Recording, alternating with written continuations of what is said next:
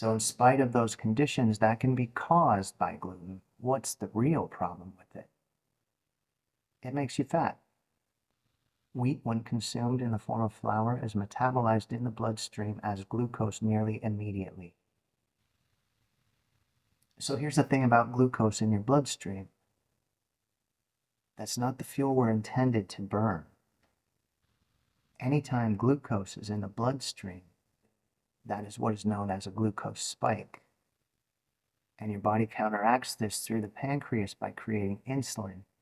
Now, it's my opinion that any time insulin is produced in your body,